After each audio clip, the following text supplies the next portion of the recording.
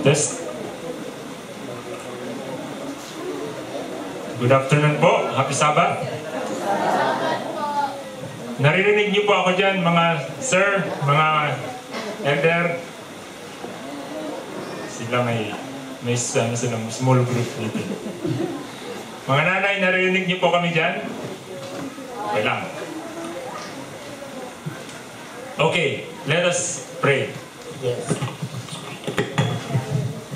Father in heaven, we ask, Lord, for your Holy Spirit, Lord, this afternoon. Uh, your message is very powerful. It can be life or it can be death, Lord. Our Father, but you want us to have life. We praise you for the Bible, the spirit of prophecy, our church, the prophets, and the examples in the Bible, and the examples, current examples of people who are obeying your commands, Lord. Our Father, we so we have seen the things that are required for revival and reformation. Please put these things in our heart, Lord. Make us humble, Lord. Make us teachable. Make us uh, have have hunger for your word and for Bible study. Give us, Lord, the spirit of prayer, Lord. Because the great controversy is very big. We cannot do it on our own no matter how much we have experienced and talented we are. We can only survive the great controversy, Lord, by holding on your hand. Our Father, please give us wisdom and understanding unto salvation. Give us wisdom to win souls, Lord.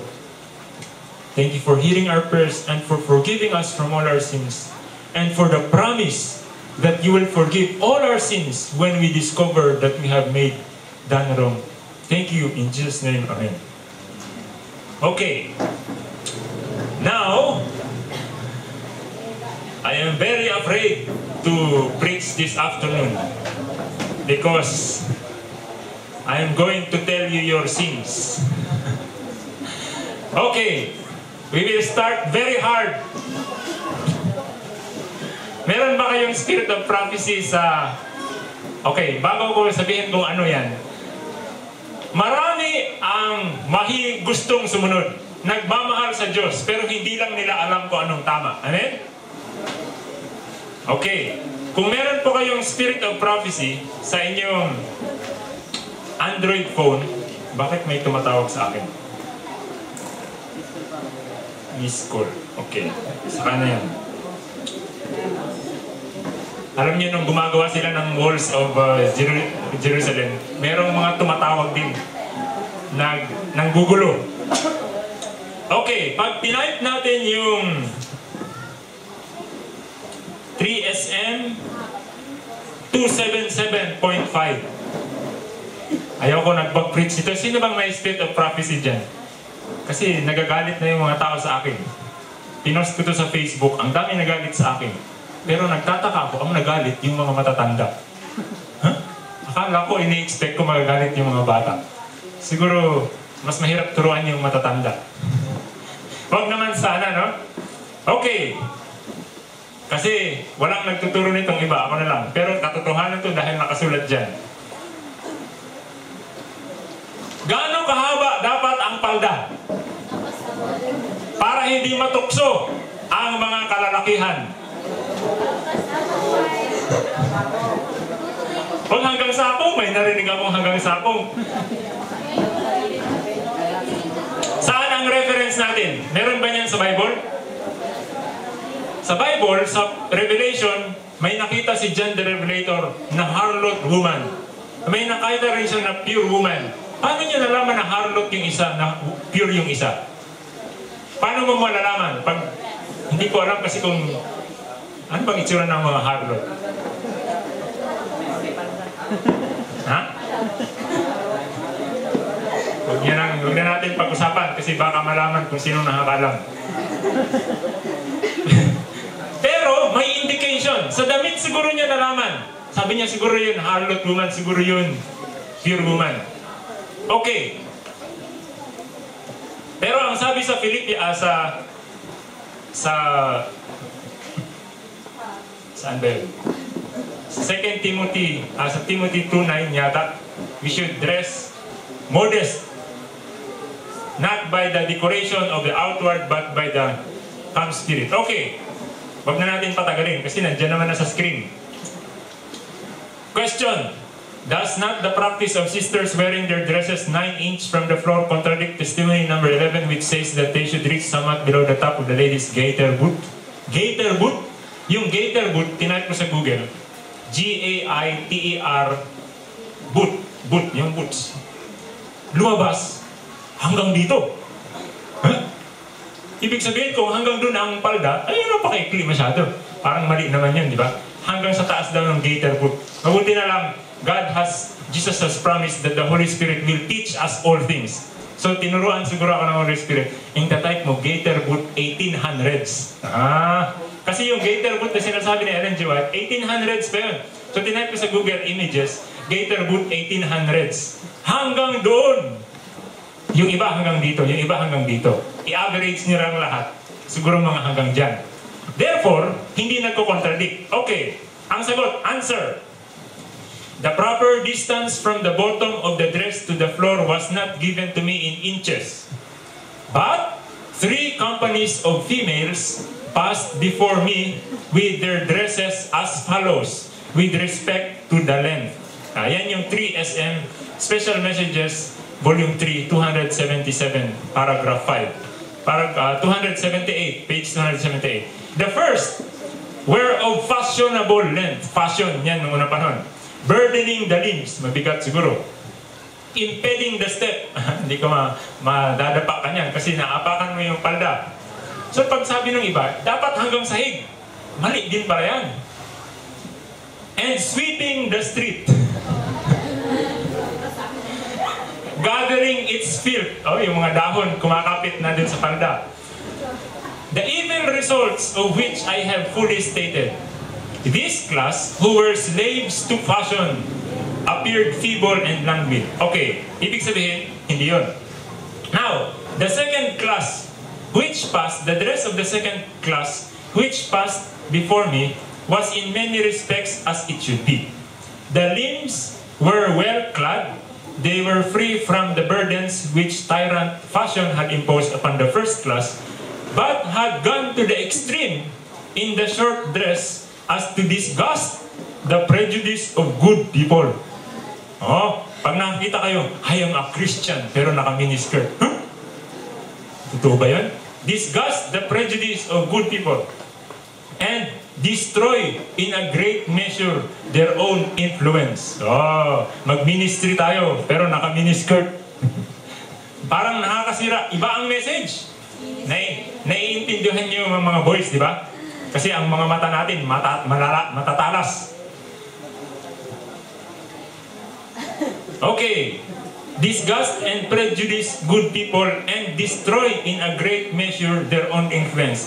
This is the style and influence of the American costume taught and worn by many in our home, Danceville, NY. It does, ito itong characteristic, it does not reach the knee. Ah, okay. Yung iba dyan, pupunta na sa ukay-ukay, Mamaya bukas, o kaya may SM ba dito? Malayo. Ukay-ukay. Din sa San Pablo, ang ukay-ukay, 25 pesos lahat, kahit jacket. Kahit barong, kahit lahat, 25. Din naman sa kabilang ukay-ukay, nakalagay, all items 10. Tapos kalapit lang ng poster, all items 25. Sabi ko lahat 10, pero lahat din 25. Paano kaya nangyari yun? Tapos meron na all items 35. Okay, it does not reach the knee. Oh, yun daw, hindi abot sa tuhod. Alam niyo mga kapatid, hindi ko maintindihan ang ginagawa ng Diyos. Pumahanap, sabi ko gagawa ako ng picture. Maraming hindi nakakaintindi nung binabasa eh. Gagawa ako ng picture. Hahanap ako ng short dress sa Google. Lahat lumabas, miniskirt. Pero hindi ko mailagay sa picture. Bakit? Matutokso yung mga nitingin. Titingin. Paano mo i-display yung mali? na hindi matutokso yung mga titingin. Hindi ko alam kung hindi ako makagawa ng picture. May nakita akong picture sa internet ganyan. Yung mali, hindi yung pantalon sa ilalim ng skirt ang dinidescribe dyan. Yung skirt sa ibabaw ng pantalon. So ito, dinidescribe niya yung skirt na, ma, na masyadong maikli, pero hindi tayo natutokso na makita yung legs dahil may pant siya sa ilalim. So hindi pants ang pinag-uusapan dito ha, yung skirt. Hindi ko rin sinasabi na mag-pants kayo lagi sa ilalim. Ito lang, hindi natin kasi pwede ilagay sa screen, lalong-lalo na sa harap ng church, yung mali, para lang maituro yung mali, ay yung hindi ma- ah, mali. Basta ganyan. Kasi ang kaliwanagan ay hindi na tutagpuan sa dilim. Ang kaliwanagan ay natatagpuan sa liwanag. Hindi tayo pwede magturo ng liwanag, ang gamit ay dilim. Okay. Kaya ganyan yung nakalagay. Ngayon ko lang na noon ko lang na-realize nung pinost ko sa internet. Kaya pala hindi ako makabuo ng tamang ganyan kasi pag naglagay nga naman ako ng totoong picture dyan na naka-miniskirt, doon kayo lahat yung mga boys titingin sa ano. Kahit hindi nyo gustong tumingin, sabi ni Pablo, hindi naman yun yung gusto kong mangyari pero dahil Okay. I need not say that this style of dress was shown to be too short. Okay, no debate. Pag hindi abot sa tuhod, too short, di ba? Kaya yung ibang dress, pag nakatayo, abot. Pag nakaupo, hindi na abot. So, lagi bang tama yun? Dapat, laging lampas. Sa aking palagay lang. Hindi nakasulat dyan eh. Pero yun din yun. Now, the third class passed before me with cheerful countenances. Maraming nagagalit dito sa number 2. Kasi, lalo na yung matatanda. Matagal na silang teacher. At mga picture pa nila na black and white, hindi abot sa tuhod. Hindi da, kasi ang kanilang prophesying, galing lang sa kanila kanilang palagay. Siguro pwede na yan, pwede na yan, pwede na yan. Walang basihan sa spirit of prophecy. Kailangan natin a clear, it is written. Ayan, nakasulat. Ito, binabasa ko, 3SM. A third class passed before me with their cheerful countenances. Free and elastic step, their dress was the length I have described as proper, modest, and healthful. It cleared the field of the street, so hindi nawawalisan yung street, and sidewalk a few inches under such circumstances as ascending and descending steps. Kahit umakit sa hagdan, hindi naapakan. As I have stated before, the length was not given to me in inches. Okay. Malinaw po ba ma'am, ah, mga kapatid na girls? Okay, alam ko maraming gustong sumunod, kaya lang hindi nila alam. Kaya ang role natin ay to teach. Okay. Long, masyadong mahaba. Too short, di umabot sa tuhod. Ang tama ay yung a few inches from the floor. Okay. Next. Kasi pag revival and reformation, kailangan ng reformation. There is a change in disposition in the lives. Bago ko sabihin ang katotohanan, sasabihin ko muna ang example. Ayan, matigas ito mga kapatid. Tayo'y makinig ng mabuti. Paano nakaka-avoid magluto pag Sabado? Mamaya na yung vegetarianism kasi wala yun sa Bible. Pero ang pagluluto sa Sabado, nasa Bible. Huh? Ngayon ko lang na-realize, mas mahalaga na hindi magluto ng sa Sabado kaysa mag-vegetarian. Kasi yung pagluluto sa Sabado, sabi sa Bible, huwag. Hindi naman sinasabi sa Bible, huwag ka kumain ng isda. Sabi lang, huwag ka kumain ng madudumi. Pag dumumo yung isda, oh, man, hindi rin pwede kainin. Pero sabi sa Bible, huwag magluto sa Sabado. Pero bago ko sabihin yung huwag magluto sa Sabado, kunyari hindi ko pa nasabi. Kasi alam ko mga kapatid, mahirap itong katotohanan na ito. Kunyari hindi ko pa nasabi, huwag muna kayong masaktan. Okay? Example muna. Mas madali kasi yung example. Pag nandyan na lahat yung example, wala na excuse. At saka madali nang sumunod. Kasi kaya man ng iba eh. Di ba? Doon sa Unclub University, sa Indonesia, Mount Clabat University or Universitas Unclub, ang cafeteria nila ay nakaka-avoid magluto, cafeteria yan ha, mass production. Pag Sabado, ng ulam. ulam lang. Pero sabi ng president sa akin, I wish someday we can also avoid cooking rice. But for now, only bayan. Sabi ko, how do you do? Because somebody told me, we can also avoid if we have refrigerator, big. Sabi niya, no, no, no, we don't have refrigerator. Really, sir? You don't have refrigerator? How do you survive cooking for hundreds of students without refrigerator? Not cooking bayan on Sabbath, cooking everything bayan on Friday without having refrigerator and the food is not spoiling. Sabi niya, we have a Sabbath menu. What is the Sabbath menu, Doctor? PhD siya in New Testament sa Ayas. It is uh, the menu which doesn't spoil easily. Beans, ah, gado-gado, hindi ko alam kung ano yun. And Indonesian kasi. And other things. Sabi niya, oh really? So, ah, how did you force the cafeteria? Sabi niya, actually, it's not me who force. Really, sir? It's the management who force. Really? How? Because we use the church, the cafeteria as a church. So if you fry on Sabbath, during our worship, the, the, the service is distracted. Ah, okay. Mas madali pa palang pasundin ng pera kaysa ng Biblia. Okay. Anyway, it is a partially good example towards that direction, di ba? Posible ang ulam sa mass production. Number two, saan ko narinig yan?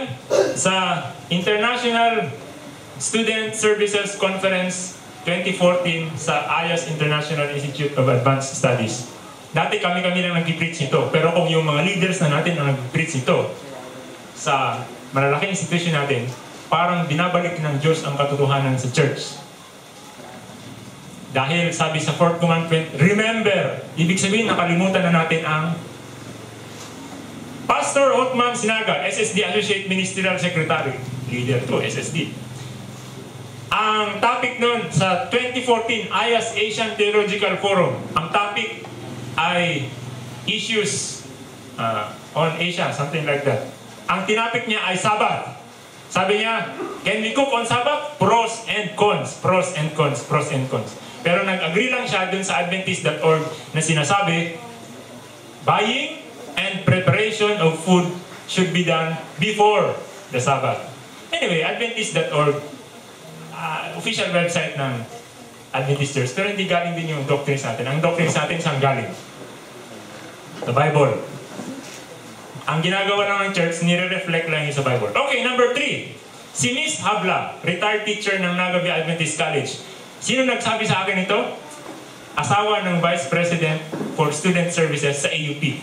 Nagtuturo ako ng Sabbath School, sabi niya, Win, alam niyo si Ma'am, si Ma'am Abla, nung siya ay nasa, nung siya ay mag-retire sa AUP, nag-missionary siya dun sa island somewhere sa Pacific. At sinundan niya ito. Walang ref. Nilalagay lang nila yung, sabi ko, paano nila ginawa? Nilagay nila sa hukay yung pagkain. Pagka umaga, mainit pa rin. Oh, lagay sa hukay. Pwede pala. Maraming paraan. Number four, sabi ni Bender Sadul, oh, nung college pa yan, kalibati ko lagi. Pero, sabi niya, yung mga lolo ko at lola ko, kaya nilang hindi magluto ng sabat. Ano nagawa? Akala ko sa buong Pilipinas walang nagtuturo nito. Kaya ang hirap. Yung pala, yung alam naman ng mga lolo at lola. So, nalimutan lang talaga natin. Kung kaya ng mga lola at lolo, may ref na ba doon? Sa Israel, sa wilderness, meron po bang ref? Bakit hindi napapanis yung ano nila? Baka walang kamatis doon. Di ba yung kamatis, pag nilagay nyo sa ulam, madaling... So meron palang mga bagay na hindi na, na madaling mapanis. May mga bagay na hindi mapanis. Sa bahay namin, kapapakinig ng nanay ko ng mga sermon ko, na konsensya na rin. Karamihan na ng, pag minsan kasi, hindi pa. Karamihan ng pagkain ay niluluto niya bago ng Sabat. Okay, sabi ng isang cafeteria ng Adventist Institution, kaya namin gawin yan kung may ref. Kaya lang, tinanong ko yung ang club, wala naman daw silang ref. So hindi na ako nag-donate ng ref. Sabi ko, ma'am, mag-donate ako ng ref para maligtas lang kayo. okay. Hindi naman nakakaligtas ang Sabbath keeping. Hindi nakakaligtas ang Ten Commandments. But Ellen G. White says, Sabbath is salvational. Oh, hindi ko alam kung ano sabihin yun. I just quoted. Life Missionary, Layman Institute of Global Health Training, si sabi ni Jacob Bayona, sabi niya, sa life, kaya namin hindi magluto ng Sabbath. Anong kinakain namin? Bread, fruits, granolas during Sabbath. Ah, di ba? Yung saging, kahit ilang araw yan, hindi naman yan maano. Tapos, he also says that good food cooked on Friday will spoil on Sunday. Oh, Sunday pa daw. Sabi naman ni Kuya Jun Lumikit, sabi niya, yung uncle ko doon sa aming probinsya, nilalagay nila yung kaldero sa Dayani sa Friday at saka kinabukasan warm pa rin siya. Sabi niya, pwede rin gamitin, gamitin yung sawdust. Ano ba yung sawdust? Yung Pag naglagari tayo yung kahoy. Anong tawag doon? Hindi ko alam. Puso? Puso? Pusot? Puso?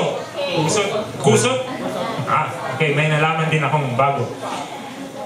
Sawdust and mixing salt with dayami. Bakit may salt? Ba't nilalagyan ng salt yung ice cream?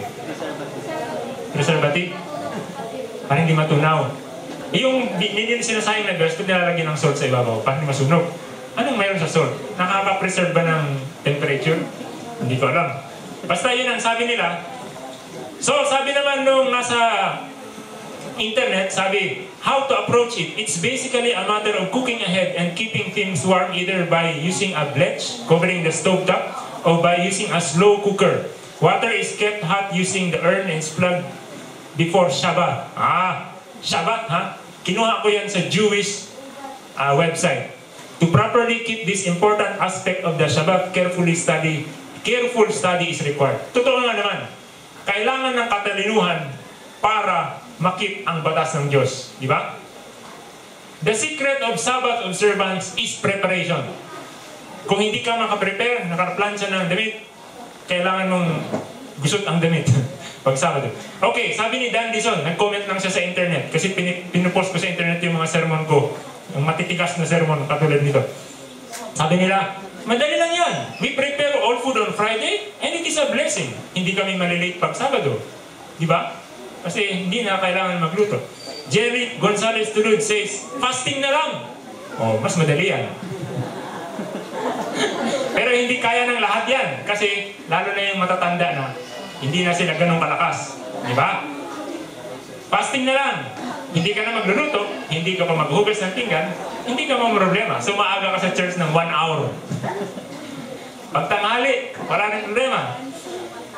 Experience ko yan. Sinubukan ko one semester, hindi ako kumain ng sabat. Whole sabat. Ginaya ko lang yung kaibigan ko na theology. Sabi ko, bakit hindi ko makain? Hindi, kasi buong sabat dito yung fasting ko. Oo, oh, gayahin ko nga. Ginaya ko. At may result na maganda. Kahit saan ako pumunta, speaker ako. Hindi ko alam kung paano ina-arrange ng Diyos. Makikita nila nakabaro ka. Ikaw ang speaker. Ha? Tapos kontra-kontra pa, invite, invite, invite, invite, ganun. Tapos nag-speaker din ako dalawang crusade. Hindi naman ako theology, hindi rin ako marunong mag-preach. Nagbabasa lang ako ng PowerPoint ng iba. Pero ang na-discover ko sa experiment ko na yun, pag nag-fasting ako, kasing galing ng mga parisi. Nilalagay ako ng Diyos sa mas maraming gawain. Hindi ko ma-explain, pero nangyari. Sino pa? Ryan James Jimenez. Sabi niya, let's just eat fruits and vegetables. Veggies. Ano yung veggies? On, sa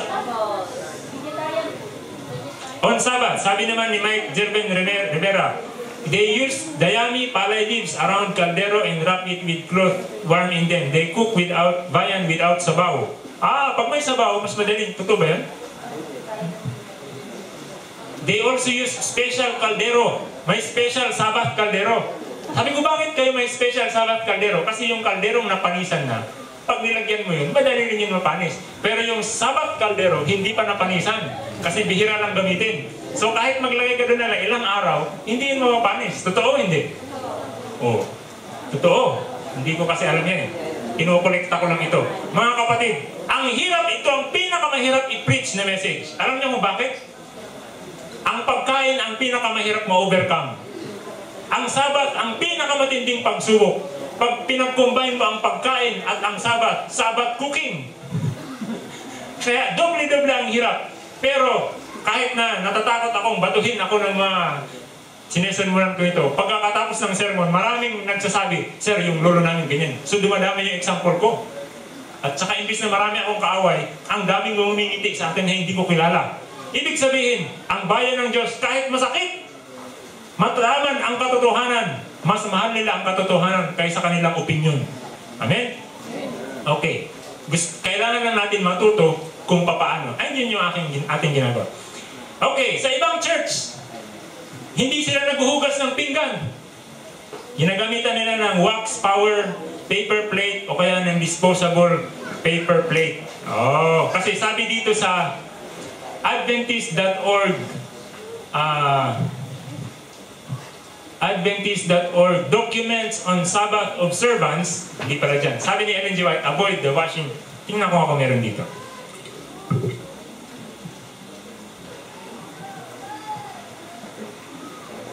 Walang dishes. Okay. Si Sister Ellen G. White ang nagsabi na avoid the washing dishes.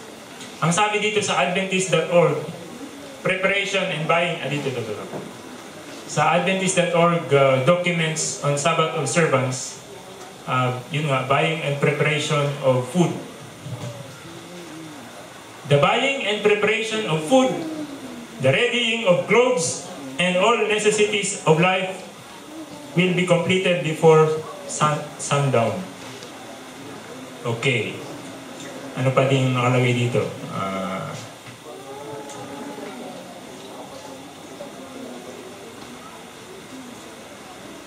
recreational activities. Oh!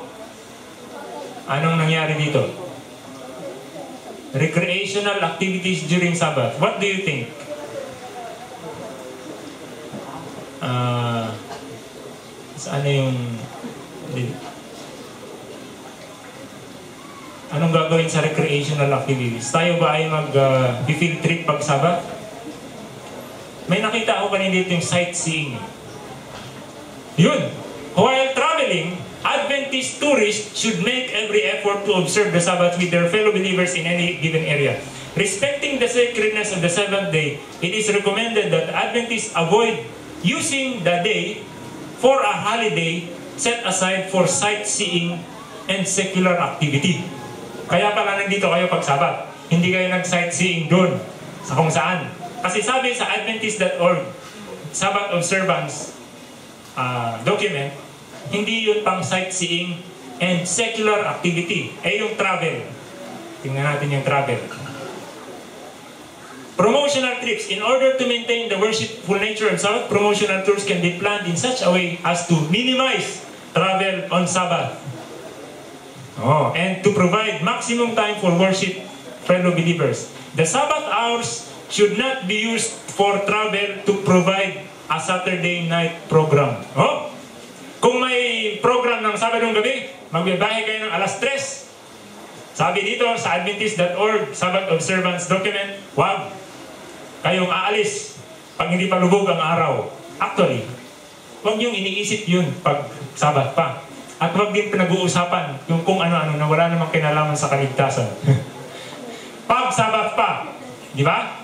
We should keep our conversation towards God on Sabbath. Okay, balik tayo dito. Sabi naman ni, dun sa isang ministry, binisita ko ito.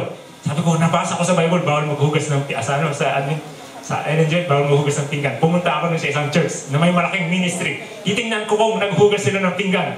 Pagdating ko doon, nakalagay, wash your own dish. Ah, sabi ko kasi sabi ni White, avoid washing dishes. In interpretation ko lang to, medyo nakakatawa lang. Kaya ginagawa nila, kanya-kanya, dish lang. At least, hindi dishes, dish lang. Okay. Sabi ni Charlie Aros Vidal, My father-in-law did not cook for on Sabbath almost 28 years na. Hindi ito mga offshoot. Hindi rin ito mga kaibigan ko, actually hindi ko kilala ito, nag-chat lang sa akin. They have no rice cooker, but the food still warm during Sabbath. They put the caldero inside the box with rice hole. Ayun yung rice hole, yung dayami ata yun. Or labhang. Ano ba yung labhang? Ipa. Yung lumalabas sa rice mill na balat ng rice. Sabi ko kasi ano yung labhang? Dinidescribe niya sa akin. Labhang.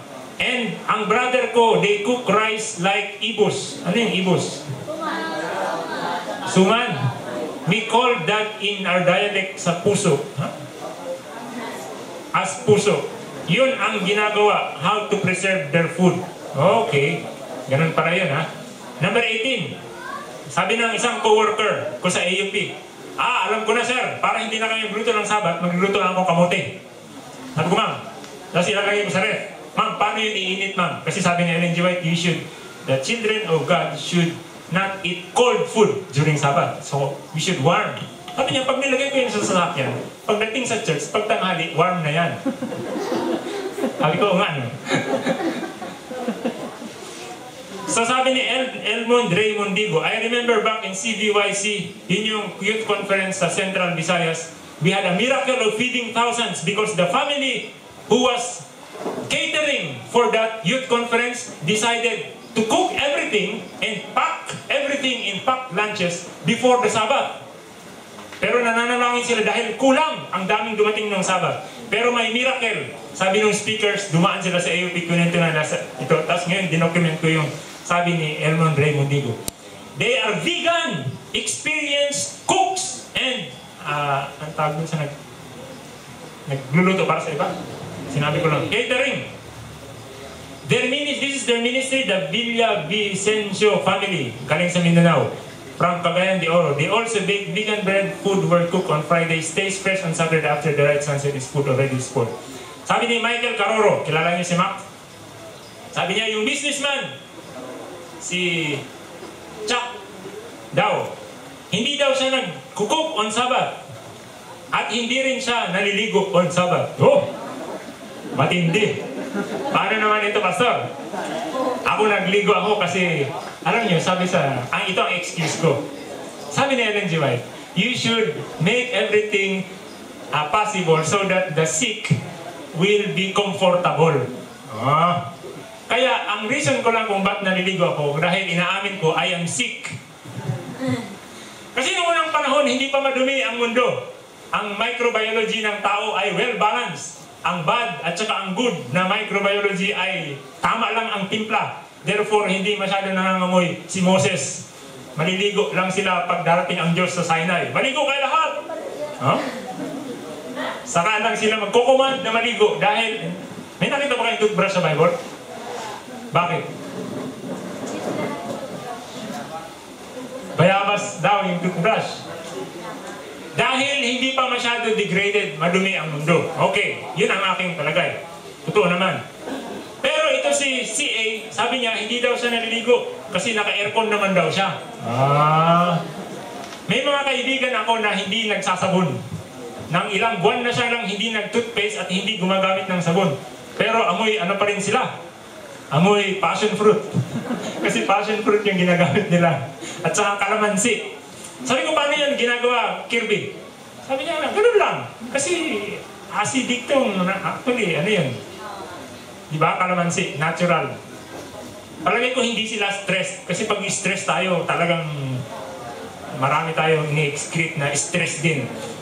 Sabi pa ni Mike Caroro, yung isang mayaman na businessman na Adventist, siguro kilala niya ito, ang initials T, tsaka M. O, doktor yan. Hindi din siya, meron siyang vegan na restaurant. Sarado siyempre pag Sabado. At yung leftover, pinapauwi sa bahay. Tapos dinadala niya siya kung saan sa church pupunta. Siyempre may bus siya. Dala-dala niya. At may bless pa yung church. Sabi ko nilalagay niya sa ref? Hindi. Depende. Yung mga madaling masira, nalagay sa ref. Yung hindi, nandun na sa table. Kinabukasan, ihasakay sa bus. O kaya sa van. O dun sa BMW. Tapos sa dinadala sa church. Nabibless pa yung church. Ha? Saka sabi niya, hindi yan naliligo pag Sabado.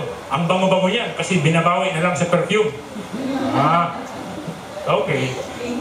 Pero ako inaamin ko na we are sick so we have to make ourselves comfortable. Hindi lang ourselves, also our seatmates.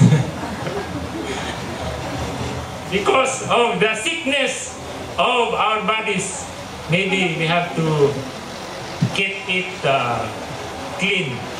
Sabi naman ni Pastor and Mrs. Mambo, ito yung president at saka asawa ng president ng Unclub University.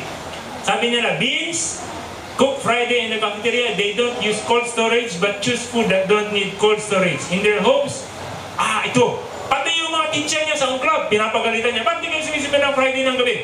Sabi niya, saan nagluluto? Ha, nagluluto kayo ng Friday ng gabi? Sabado na. Sabi, oh, meron din palang matinding mga tao na gaganto. Kala ko yung mga offshoot lang. At saka mga extremist. Meron palang leader ng Adventist Church na nagsisermon din ng ganto. Sinasaway niya yung kanyang employees. In their homes, before the refrigerator and keep warm rice cooker, they cook they used to cook rice, then wrap it with cloth to keep it warm until Sabbath. They also say it is easier to keep warm these days because of technology and electricity. Oh, mas madali bang hindi magluto ngayon o noon? Ngayon kasi may ref. Pwede naman painit. Sabi ni Ellen G. White, you, you can warm. Therefore, sabi ko, kung yung apoy ang problema, yung pagsindi ng apoy, kasi merong lumulutang na explanation sa mga Adventist circles. Na da, sinabi yan dahil mahirap magpaapoy. Hinahanap ko sa lahat ng Adventist documents na pwede kong makita, hindi ko makita yung explanation. Therefore, sabi ko, siguro haka-haka lang yan. Kaya sasabihin ko sa mga gusto mag-preach, huwag kayo mag-preach nang wala sa Bible and sa SOP. May magre-research sa hanapin at papatunayan mali. If wala talaga doon. So, since hindi ko makita, hindi ko rin pwede i-preach na ganun.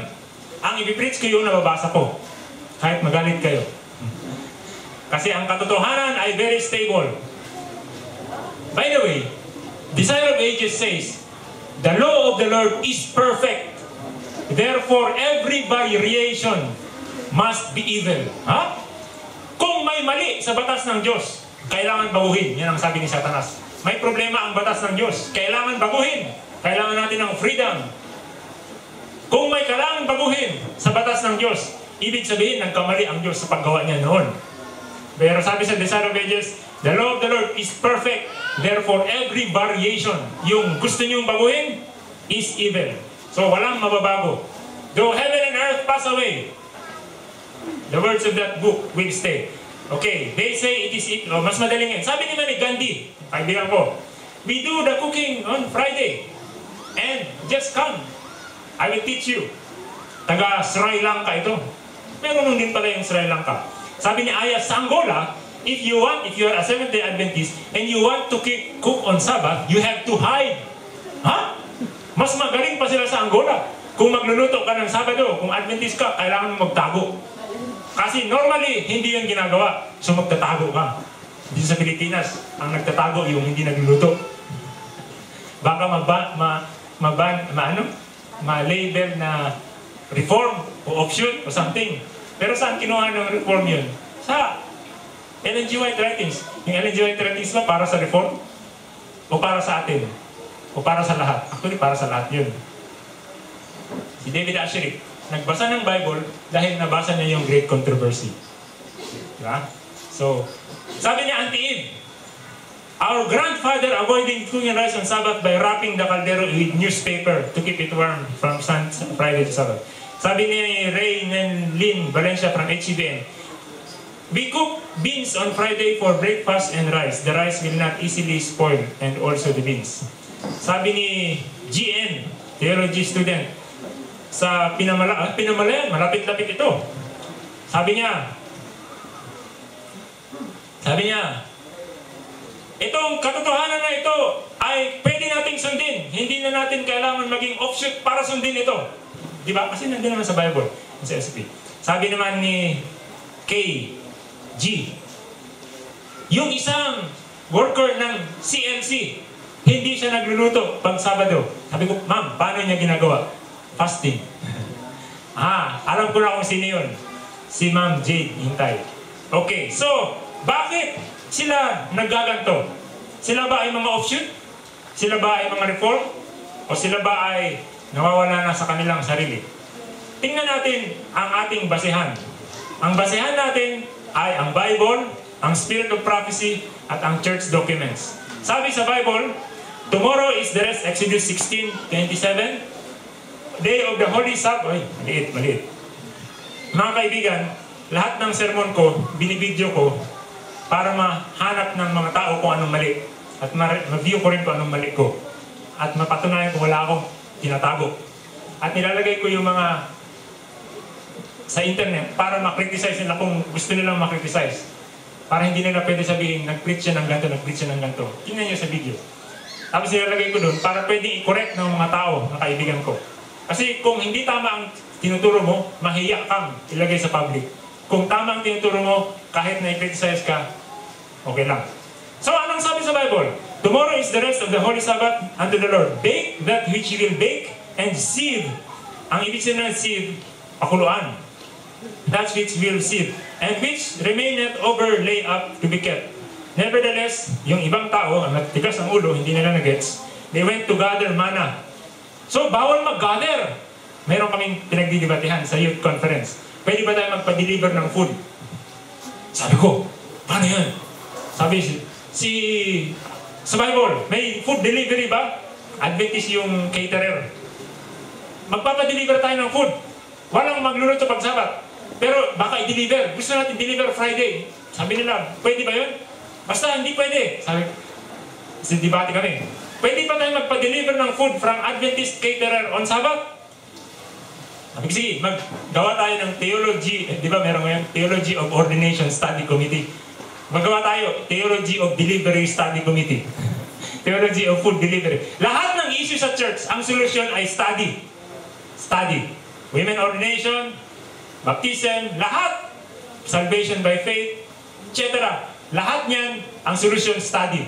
Kung anong mapag-aralan at mapagbutuhan pagkatapos mag-aral, yun ang pinapa ginagawa ng Holy Spirit na maging doctrine ng ating church. So, ang solution study. Sabi ko, pag pag-aralan nyo nga yung, ako mag-aaral ng negative, kayo pag-aralan nyo yung pro. Kasi, mas convince ako sa, sa hindi. Dapat hindi tayo magpa-deliver. Kayo mga pro, pag-aralan nyo. Kasi pag pwede talaga magpa-deliver, magpapa-deliver na ako ng KF, ng, may vegetarian ba sa KFC? Yung fries. Magpapa-deliver na ako galing sa Kenny Road, uh, sa Max, yung tofu.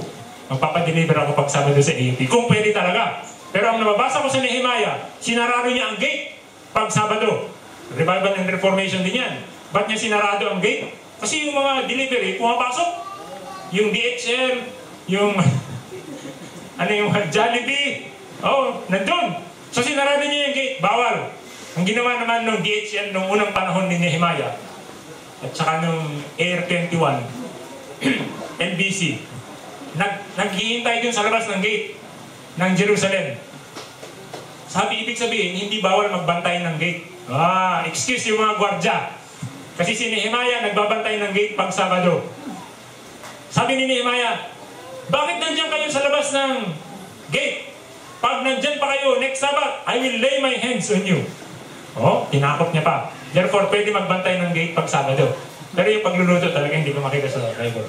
Merong nagluluto ng Sabado sa Bible. Yung priest na nagluluto ng 12 na bread para sa temple. Sabado yung niluluto. At 7 days yun dun sa temple. Hanggang sa next Sabbath, niluluto ulit. Pero, yung ceremonial no, dinan away na. It is finished. Therefore, yung Sabbath cooking ng priest, it is finished na rin. Di ba kasi wala nang ceremony sa temple ngayon? Because it has been fulfilled. Nevertheless, some So, pinagalitan, sinong pinagalitan? Yung Israelites? Yung leader ang pinagalitan. Si Moses. How long will you refuse to keep my commandments and my instruction? Ang tanong ko, nagbabago ba ang Ten Commandments? Nagbabago ba ang Sabbath? Nagbabago ba ang Sabbath keeping? Ang question, alin yung sinasabi ng pariseo? Oh, sabi ng pariseo, bawal humakbang ng lampas ganito karaming hakbang pag Sabbath. Nasa Bible ba yun? Wala. Yun yung sinasabi ng Pharisee. Ay yung bawal magluto. Sino nagsabi? Ang Diyos? Si Moses? Yung Pharisee? O yung... Ang Diyos. Yung sabi na, sinasabi ng Diyos, hindi magbabago. Yung sinasabi ng Pharisee, bawal magbit-bit ng ganto kabigat pag Sabat. Hiwala naman sa ganto lang karaming bit-bit, ganto lang karaming apak. Ba, kung ano-ano. Yung mga wala naman sa Bible. Pero pag nasa Bible, yun ay galing sa Diyos. Okay. Tapos, ngayon tayo mga Adventist, kung gusto natin masigurado yung pagkaintindi natin ng Bible, tinitingnan natin sa Spirit of Prophecy. So anong sabi sa Spirit of Prophecy? Those who cook upon the Sabbath violate the fourth commandment and are transgressors of God's law. Kaya, ining, kaya mga kaibigan, inuna ko lahat yung example kasi napakabigat ng accusation sa mga nagluluto pag Sabado. Transgressors of the fourth commandment. Inuna ko lahat yung example dahil napakabigat ng katotohanan. Okay. All who are anxious to observe the Sabbath will not cook any food upon the Sabbath. They will in fear of God who gave His law from Sinai. Tapos sabi ng mga kaibigan ko, bakit parang takot na takot sila sa akin? Sabi, lahat naman sir ng tao takot sa iyo. Ha? Bakit kayo natatakot sa akin? Tao lang din ako. Sa Diyos kayo matakot. Minsan, dun sila natatakot sa nagsasabi ng totoo, hindi dun sa pinanggalingan. All who are really anxious, okay, they will in the fear of God, who gave His law in Sinai, deny themselves and eat food prepared upon the sixth day. Even if it is not palatable. Oh, alin ang mas mahalaga? Hindi magluto or hindi masarap? Okay lang na hindi masarap masyado. Basta lang, sabi dito, deny themselves and eat food prepared upon the sixth day, even if it is not palatable. Ah, naintindihan ko na yung kaibigan ko. Sabi ko, man, just eat. No, no, no. That was cooked on Sabbath. I will not eat. Huh? Is that in the Bible? Nakita ko lang dito pala. Ayan, no? They will deny themselves eating food prepared on the sixth day. Pagkalubo ng araw, bumili siya ng loaf bread. Sabi ko, you know, that is cooked on the Sabbath. Binili namin sa 7-Eleven. Sabi nga. Hindi, kinakantsawan ko lang siya. Pero nung pinag-aralan ko, kasi may pag ibang katotohanan, resistive tayo eh. Sabi niya, ganto-ganto. Kinokontra ko. Pero nung pinag-aralan ko rin mismo, naniwala na ako. Kasi yun ang nakasulat eh. So ang challenge ko, katulad ng Bereans, pag-aralan din. Meron isang verse sa Bible na sinasabi, On the seventh day shall be a holy convocation. On this day, no man should do any work except that is for food. Exodus 12:16. Yan. Ito ang pinakamalapit na verse na nag-aalaw ng Sabbath cooking. In the first day, there shall be an holy convocation. Ha? First day. And on the seventh day, there shall be an holy convocation. So, linggo at saka Sabado. Kung totoo yung day. Hindi yung linggo at Sabado. Ha? Kung lang. No matter of work shall be done in them, save that which every man must eat. Oh, pwede magluto. Kasi daw, ang tanong, alin dyan yung Sabado? Yung first day o yung seventh day? Doesn't matter. Yung seventh day. Ngayon, tanong na natin, yung seventh day of the week ba yan? Kasi bakit sabi bawal, tapos pwede, tapos sabi sa SOP, bawal pa rin. Parang hindi yata align. So tingnan natin yung context. Sa Exodus 20:17, And ye shall observe the feast of unleavened bread. Ito ba ng Exodus 12? Hindi ito tungkol sa Sabbath. Tungkol to sa feast of unleavened bread. So yung mga number ng araw, first, second, third, ganyan-ganyan, ang reference niyan ay first day of the feast of the unleavened bread. Ang sabi pa dito, And in the self same day I brought you out of the armies of Egypt, there shall be observed this day for generations. In the first, kailan nagsimula yung feast of unleavened bread? First month and 14th day of the month at even ye shall. So first month and 14th day of the month. So 14th, January 14. Pero yung Jewish calendar, hindi eksakto yun sa Gregorian calendar. Sabi dun sa Wikipedia, na nire-reference nila sa ibang Jewish website, yung Jewish calendar may apat na days na pwedeng pagsimulan. Ibig sabihin, hindi laging Sabado yung day 1, day 2, day 3, day 3 ng Jewish calendar and ng Feast of Unleavened Bread. Therefore, yung 7th day ng Feast of Unleavened Bread ay hindi yung 7th day of the week. Lagi.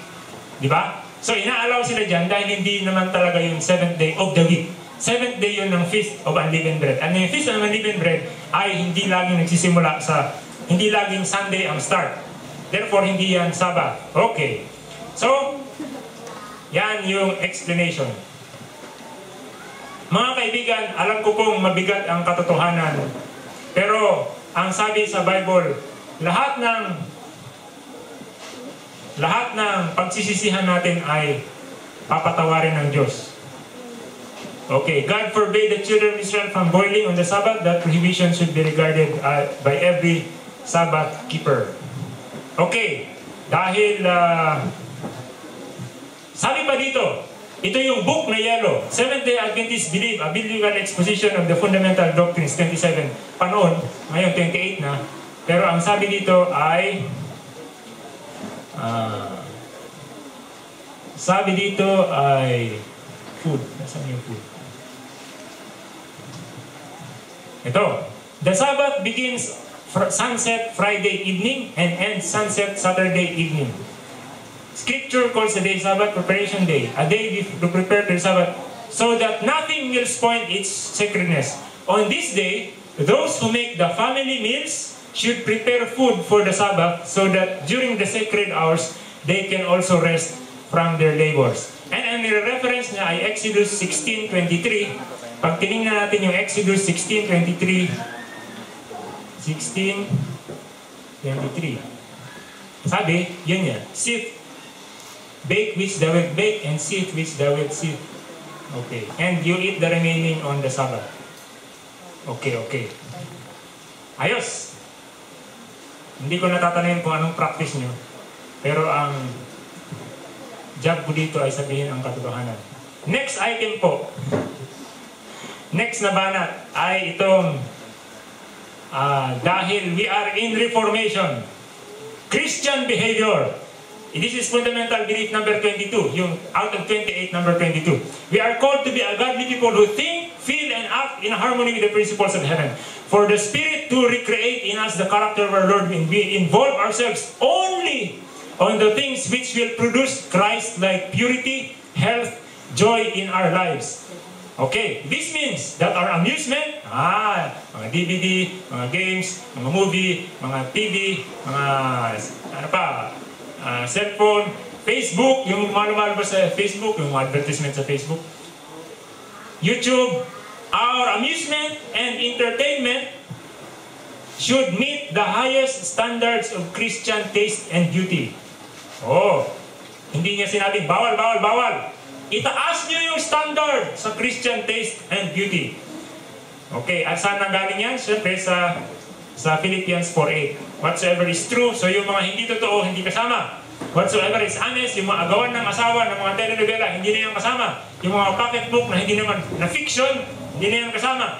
Whatsoever is just, yung mga hindi makatarungang mga movie, hindi na yan kasama. Whatsoever is pure, yung mga maikli ang damit na mga, may mga palabas ba ngayon na walang sexual connotation, ang tawag doon?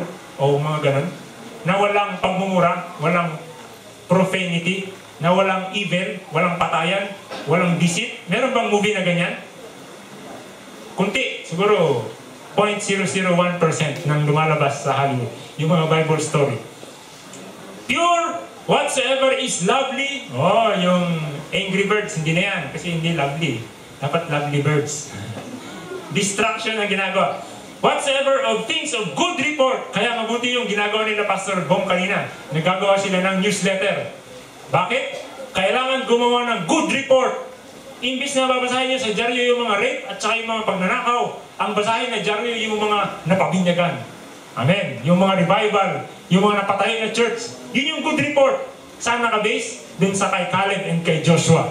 Diba? Si Caleb and kay Joshua, nung nag-spy sila sa promised land, pagbalik nila, kahit maraming bad news, ang nireport nila yung good news. Therefore, sila lang nakabarating ng promised land. Kaya yung gumagawa ng dyaryo, good news ilalagay. Dahil, sabi sa, para makarating sa promised land, yung magawa ng good news na report. Okay. Okay. Meron bang sinasabi sa Bible, bawal manigarilyo? Hmm? Ba't pinagbabawal natin? Agad, alam nyo lang, masama sa katawan. By virtue of scientific proof and statistics, di ba? Kasi sabi, whatsoever you do, do all to the glory of God. Whether therefore you eat or drink. Okay. While recognizing, cultural differences, our dress is to be simple, modest, and neat. Ah, okay. Befitting those true beauty does not exist of the outward adornment, but in the imperishable ornament of a gentle and quiet spirit. Wow! Gentle and quiet spirit. Yung mga kapitbahay namin hindi pa Adventist, sigawan ng sigawan ng sigawan. Pero yung mga Adventist na kapitbahay, nag-worship lang. Tan, taran, tan, taran. Yung mga kikinig sa mga Adventist na bahay, mga kanta. Yung mga hindi pa Adventist, sigawan. Ewan ko na pinag dahil sabi sa Bible, gentle and quiet spirit. Hindi sinisigawan nung, nung nanay yung tatay. At yung tatay yung nanay. Dahil sabi sa Bible, love your wife as God loves the church. And wives, magpasakop sa husband. For this is right. It also means that because our bodies are the temple of the Holy Spirit. Sabi kanina, in, re, in revival and reformation, we should cleanse the temple because our temple is the body of the, uh, our body is the temple of the Holy Spirit. Kaya pala hindi naninigarilyo ang mga Adventist dapat. Because, not because, uh, eh, because statistics say that cigarette smoking is Even the advertisement says, cigarette smoking is not good for your health. We are to care for them intelligently. Ah, bakit intelligently? Madali bang mag-vegetarian? Hindi. Sabi ng mga kaibigan ko, bakit ka nag-vegetarian sa Pilipinas? Ang hirap mag-vegetarian dyan. Sabi ko, boring kasi. Ba't ka gagawa ng mga bagay na kaya naman ng iba gawin? Di ba? Anong difference? Kung mahirap, yun gusto kong gawin. Ha? So, in-experiment ko mga kapatid. Ilang buwan akong nag-vegetarian. Nag-enjoy naman ako hanggang ngayon, nag-experiment pa rin ako. Actually, hindi ako vegetarian. Pwede akong kumain ng karne at isda. Ayaw ko lang. Gini-joke nyo lang na, gini-joke ko lang kayo. Pwede akong kumain yan. Ayaw ko lang. Di ba? Kung ayaw ko ng kamatis, pipilitin nyo ba ako? Hindi. Kung ayaw ko ng isda, ba't pinipilit nyo ako? Oh. Di ba? Kung ayaw ko ng... Alam niyo mga kapatid, madaling mag-vegetarian sa labas ng church. Sabi nga sa book na True Revival, mas madaling gumawa sa labas kaysa sa loob. Dahil nakakahiya pag nasa loob ng church. Noong unang mga panahon pa ako nag-vegetarian, sa Jollibee, pag sinabing vegetarian ka, hindi ka na didebatihin. Pero pag pumunta ka sa church, sinabing vegetarian ka, ang daming, ano, uh, ganyan, mga reklamo. Pero sa dulo-dulo, sasabihin nila, hindi ko pa ma-overcome yung ano eh. Alam din pala nila. Pero, mabuti at least alam ng mga tao na ito yung best. We are to care for them intelligently. Kailangan ng instruction. Sabi ni Ellen G. White, vegetarianism, the health message is not just vegetarianism. Vegetarianism is not just the removing of flesh food.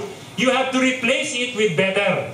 Kaya halos ayaw kong pumunta dito, Pastor Bong, na wala akong kasamang magtuturo kung paano magluto ng ng palatable and nutritious vegetarian food. Kasi pag sinabi kong tanggalin, tanggalin, tanggalin, wala naman akong tinuturo na kapalit. Nakaka-stress lang. Kaya, tanungin nyo lang yung kalabaw, paano siya nakakasurvive ng vegetarian. Minsan mas magaling pa yung kalabaw. We are to care for them intelligently. Along, oh may narinig na akong kalabaw. Along with adequate exercise and rest, we are to adopt the most healthful diet. Wow! May nagtitext sa akin yung isang, isang araw. Sir, ano ba yung tatlong uri ng pagkain sa Adventist? Sabi ko, ganito kasi ngayon. Meron tayong abominable, yung hindi pwede kainin. Yung sabi sa Leviticus 11, yung mga baboy at saka mga camel at saka mga eagles at saka mga uwak. Meron yung pwede, yung manok, yung uh, isda na may palik, uh, palikpik at kaliskis. Paano yung yung isda na may palikpik at kaliskis na nangangain ng tao? Ano nang tawag doon? Yung piranha. Siguro exempted din yun, no? Kasi hindi siya vegetarian eh. Sa food pyramid, yung mga malapit dito sa lupa, yun yung pwede, pwede kainin, yung kumakain ng mga plants. Pero yung kumakain ng mga hayop, hindi magandang kainin. May hayop ba na pwede kainin na kumakain din ng ibang hayop? Parang wala ata. Ang mga pwede natin kainin, yung kinakain ay mga dahon at mga prutas. So yung mga cannibal, hindi rin pwede kainin. So, dapat yung sa food pyramid. So, tapos meron tayong best, ideal. Yun yung alam natin lahat na vegetarian. Yun yung pinapangarap natin na maabot. Pero hindi natin alam kung papaano. Di ba? Someday, sana, malapit na akong mag-vegetarian. Hanggang doon na lang, malapit, malapit, malapit. Kailangan ng katalinuhan. Pero ang sabi sa fundamental beliefs, we are to adopt the most helpful. Alin doon ang most helpful? Yung bawal, yung pwede, o yung ideal? Yung ideal. Okay. Hindi ko tatanungin kung anong ginagawa nyo. Gusto ko lang malaman kung anong katotohanan. Malaman nyo kung anong katotohanan. And sa tamang panahon, tuturuan kayo ng Holy Spirit matakasan yung mga kailangan yung matakasan. Ako, paano ako nag-vegetarian? Hindi dahil sa sermon. Dahil sa takot. Akala ko meron akong sakit sa puso. Nag-tennis ako, pastor, buong araw. Hindi naman ako namatay. Pero sabi ko, bago ako nag-tennis, mag-vegetarian na talaga ako. Kasi masakit yung aking dik. Nag-tennis ako buong araw, hindi ako namatay. Ni-research ko ulit, hindi lang para sakit sa puso ang nakakasakit sa dibdib. Minsan, mali yung tulog mo. So, simula nun, Eh, dahil nag-experiment ako, hanggang ngayon, nag-experiment pa rin akong vegetarian. Hindi dahil sa sermon, dahil sa takot. Kasi pinag-pray ko, give me wisdom and understanding. Wisdom and understanding. Minsan nauuna yung wisdom kaysa understanding. Pagka two weeks simula nag-vegetarian ako sa Thailand, nagkaroon ng bird flu, 2004. Ah, kaya nauna yung wisdom bago, bago ko na-understand kung bakit ako nag-vegetarian. So manalangin din kayo ng wisdom and understanding. Baka takutin din kayo ng Diyos. sa akala niyong sakit. Since alcoholic, mabuti na yung natatakot sa sakit kaysa nagkakasakit at natatakot. Di ba? Yung mga kasama kong nag-vegetarian na nag-backslide, ako ang tagahatid sa hospital. If you make fun of the health message, the health message will make fun of you. Because it is the law. Law, yan, law. Since alcoholic beverages, tobacco, and irresponsible use of drugs and narcotics are harmful for our bodies, we are to abstain from them as well. Instead, we are to engage in whatever brings our thoughts and bodies into the discipline of Christ, who desires our wholesomeness, joy, and goodness. Nasaan yung coke dyan? Wala. Kasi fundamental lang yan. Meron pang hindi po, meron pang mas malalalim. Ha? Hanapin natin yung coke nandito sa Christian behavior chapter 21 nung 27 na fundamental belief. Hanapin natin yung cola. Cola. Ayun! The blessings of temperance, stimulant-free drugs, ah, living. Drugs have saturated our society. By the way, merong good medicine at merong poisonous drugs. Pero kung malusog talaga kayo, hindi nyo kailangan pareho. Drugs have saturated our society because of the offer stimulation and release from stress and pain.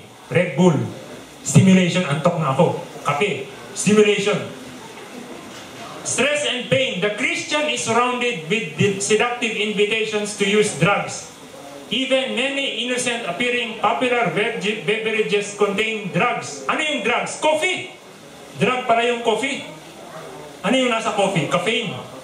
Kaya pag nag-open kayo ng binibili nyo, tingnan nyo muna kung may caffeine. Kung may caffeine, at marunong kayo, naintindihan nyo to, sabi ay hindi dapat iti-take. Anong problema ng caffeine? Yung caffeine, it is a cranial stimulant. Ini-stimulate niya yung blood flow sa ating brain. Ang problema nun, sabi ni Sister White, yung lakas mo para kinabukasan, nagastos mo na ngayon. Kasi yung energy mo kinabukasan, ginastos mo ngayon. Kaya bukas, kailangan mo ng mas maraming kape. At bukas, mas maraming kape. At bukas-bukas, pag walang kape, merong withdrawal syndrome. Masakit ulo or hindi makatulog or something. Kaya nakaka-addict yung caffeine or yung Coke or yung Mountain Dew or yung Red Bull or kung ano pang energy drink dyan na may caffeine. Ang problema pag ginastos mo yung energy mo kinabukasan, sabi sa Bible, be always ready in the great controversy. Pag yung energy mo kinabukasan, ginastos mo ngayon, bukas, nasaan yung always ready mo? Yun. You are susceptible to the attack of the enemy. Because yung energy mo kinabukasan, ginastos mo kahapon. Yun ang sabi ni explanation ni Ellen G. White sa coffee. Tea! Oh! Paano yung tea na organic?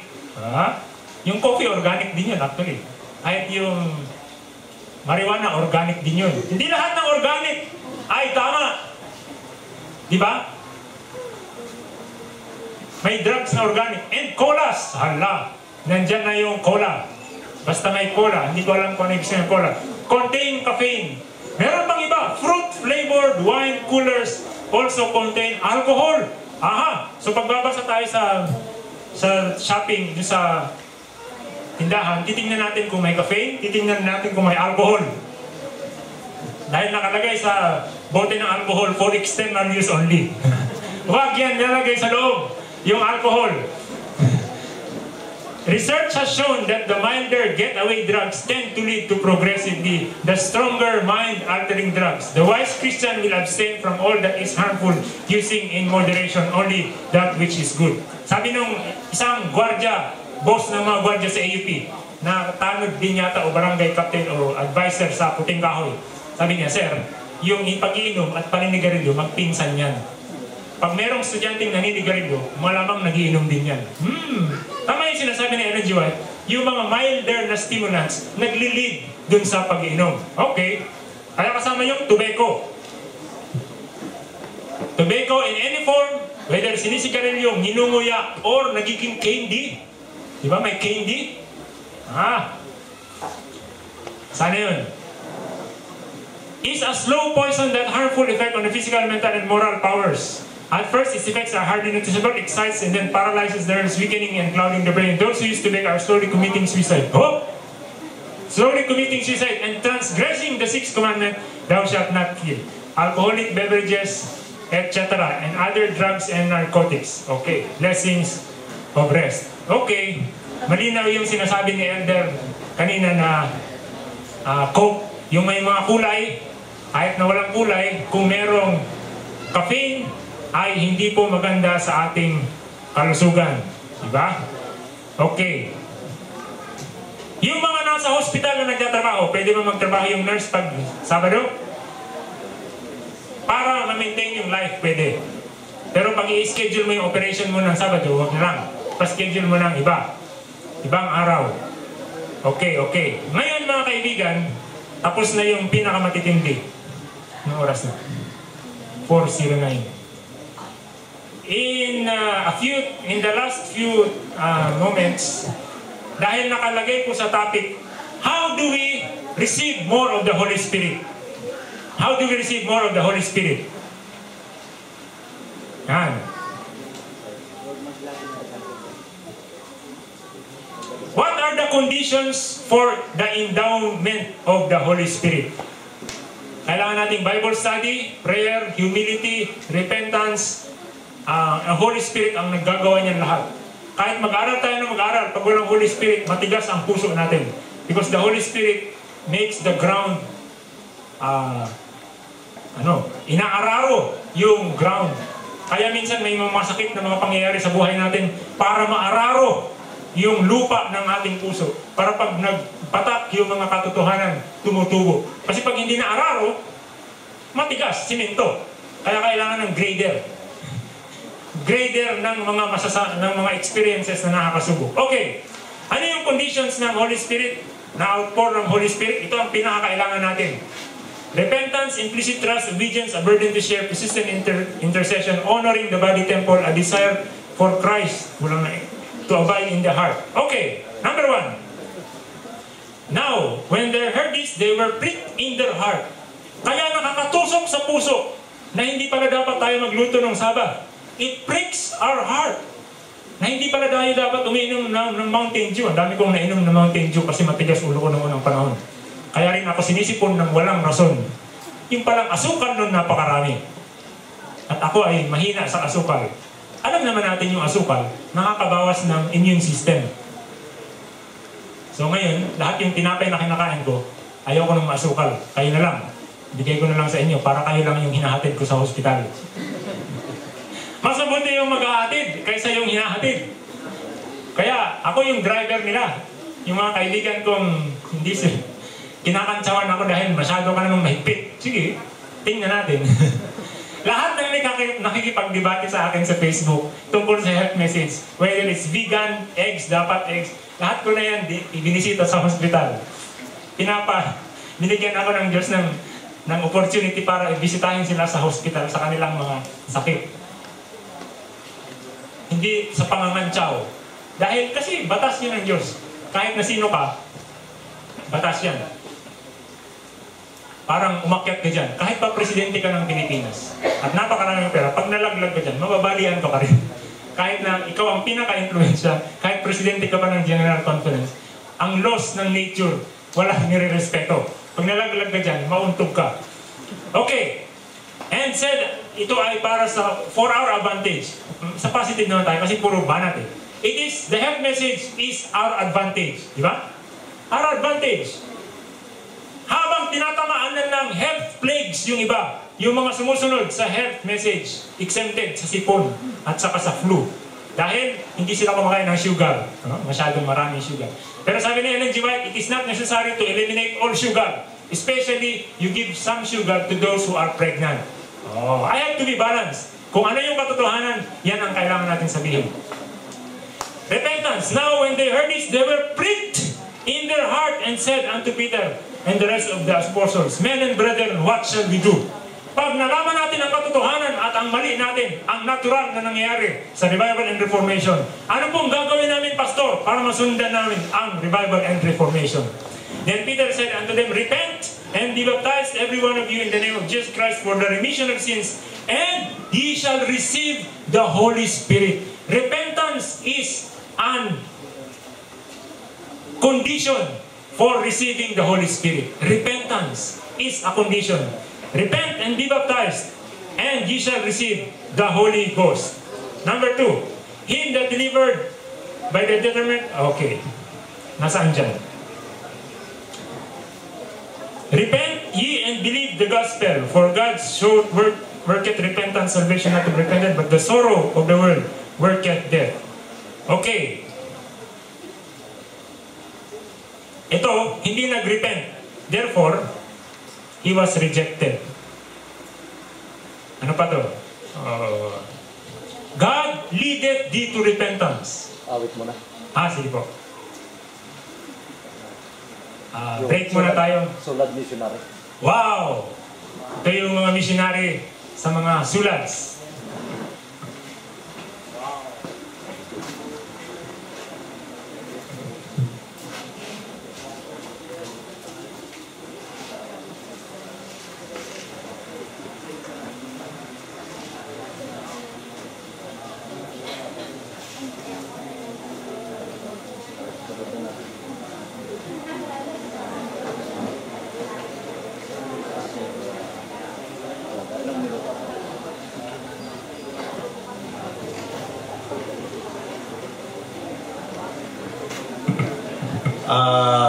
Pinatawagan ko po si Sir Jesse na maganda-handa na po. Kayo na po ang sunod na ah, lecturer.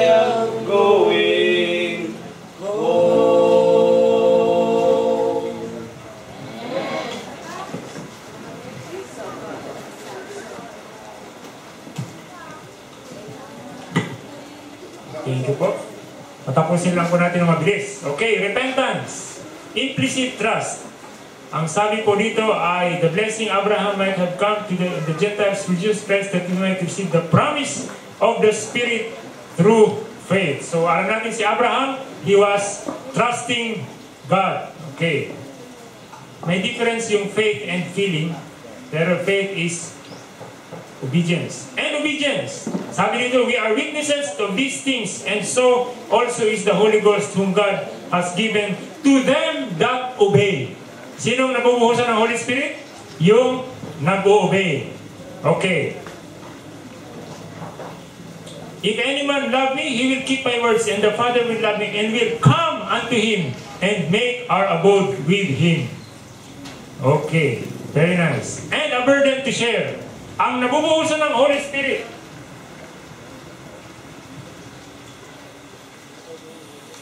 ay hindi para sa ating sarili, kundi para gawa, gamitin sa gawain. Ang sabi dito, if ye brethren being evil, how much know how to give gifts to your children, how much more shall your heavenly Father give the Holy Spirit to them that ask.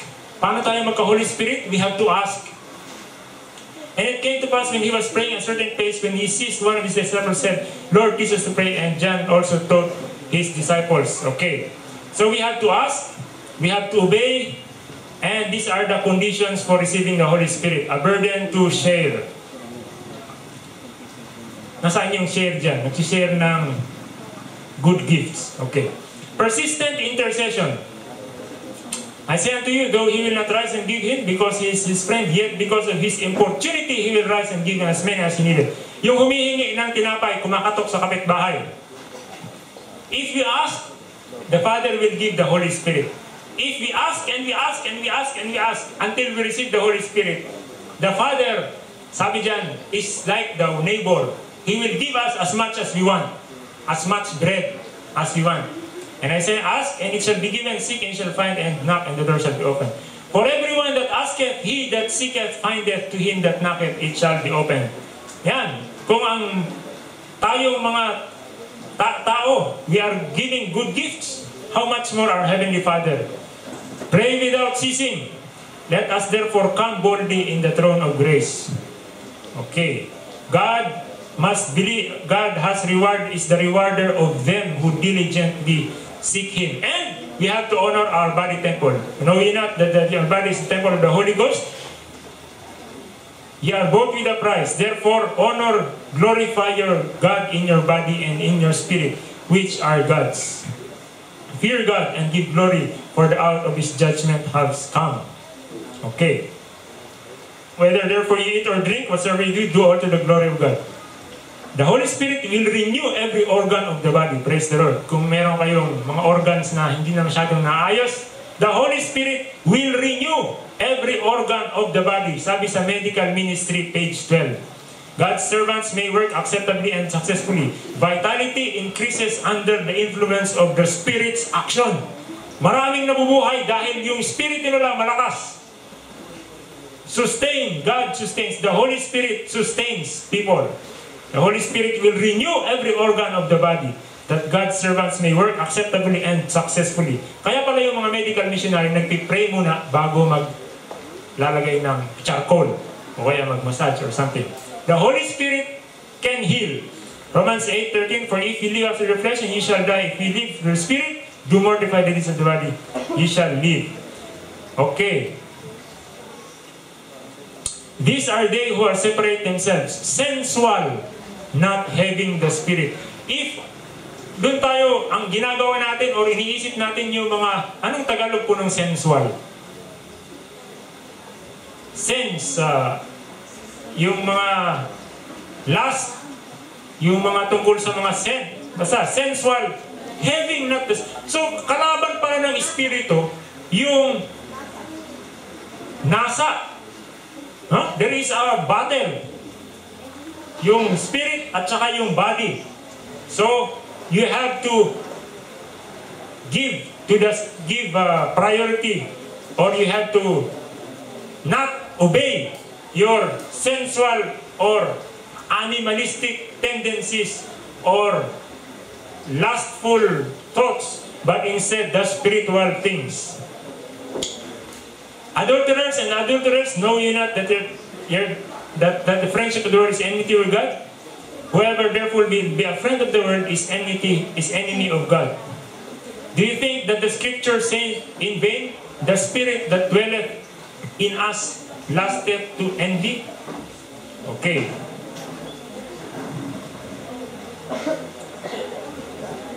Ano pa? Next. A desire for Christ to abide in the church. He that in the heart. He that keepeth his commandments dwell in his commandments dwelleth in him, and him in me. So if you want God to dwell in our hearts, hereby know ye that He abideth in us, and the Spirit which He hath given us. Okay.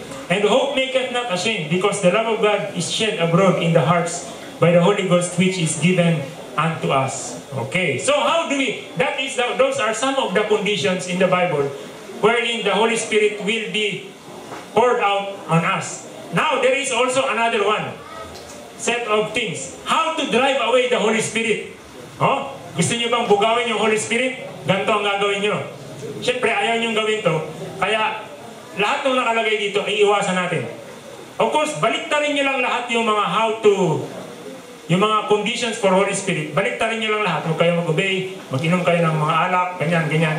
Of course, baliktarin niyo ba, mabubugaw yung Holy Spirit. Pero, Meron pa dito. But if rebellion, pag nalaman natin ang katotohanan, tapos ayaw natin sumunod, we are vexing the Spirit. In fact, di ba merong unpardonable sin? The, the sin uh, against the Holy Spirit? Vexing the Holy Spirit. Therefore, he was turned to be their enemy and he fought against them. Yan. All manner of sin and blasphemy shall be forgiven unto men, but the blasphemy against the Holy Ghost shall not be forgiven unto men. Unbelief blasphemy. For the good words you stone not, but for blasphemy, okay, when you are making yourself God, yung accusation kay Jesus. Not listening to God. Okay. So, that is blasphemy to the Holy Spirit. Ano ba? Secondary concerns. Let Christians put away all dissension and give themselves to the glory to God for the saving of the lost. Let them ask in the promise of blessing and it will come. The promise of the Spirit is a matter little thought of and spiritual darkness and etc. So, because merong priority, merong secondary concerns. Pero minsan yung mga mabubuting bagay, katutulad ng ginagawa ni Martha, mabubuti naman yun.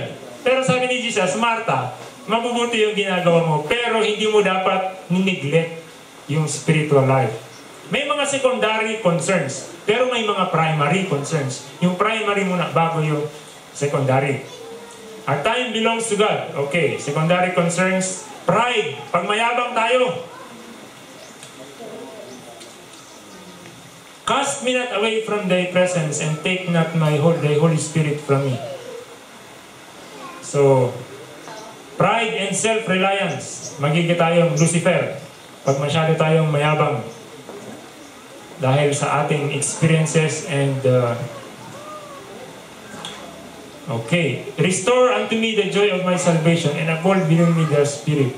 Then I will teach transgressors thy way, and sinners shall be converted unto thee. Yung mga mahilig mang away, ayan. The Holy Spirit does not abide in the heart of him who is peevish of others who do not agree with his ideas and plans. Wala naman sa Bible. Pero yung mga plano, plano, plano, pag di nag-agree sa aking program, aawayin ko yan, politically. Yan. It will also drive away the Holy Spirit. And intense amusement. Ayan na yung ano, amusement. Ito na lang. Amusements are doing more to counteract the working of the Holy Spirit than anything else. Anong number one kalaban ng Holy Spirit? Videoke, games, Dota. Ano pa yung mga amusement? Telenovela, Itbulaga. Ah, ano pa yung mga... Oh? Intense amusement are the number one enemy of the Holy Spirit. Kaya hindi ko tinatantanan. Binabanggit ko mismo. Kasi, ayan no, amusement are doing more to counteract the working of the Holy Spirit than anything else. Ang daming magagaling, nalululong sa games, sa movies, sayang ang kanilang panahon at talent at time. And the Lord is grieved. Yan. Ano pa? Ito, sa mga lalaki. Sabi ni Job, I have made a covenant with mine eyes. Why then should I think upon a maid? Sabi sa ibang version, should I look upon a maid? Kaya pag minsan nandun tayo sa mall, wag na lang tumingin tayo sa mga tao. Doon na lang tayo tumingin sa bubong. Kasi yung mga pananamit ng mga kababaihan dun sa mundo ay hindi magandang tingnan. Minsan nakakapasok sa church. Kaya mabuti na lang nilagay ko yung napakasakit na picture. Napiprick ang ating hearts. Okay, I will set no wicked thing before my eyes. I hate them that will turn aside. Okay, tapos na po. So, yun po ang mga bagay na nakaka-encourage sa Holy Spirit na magbuo sa atin at yung mga bagay na nakakabugaw sa Holy Spirit. At kasama doon yung some amusements, yung music na ang susunod po na lecture ng ating kapatid. Thank you po.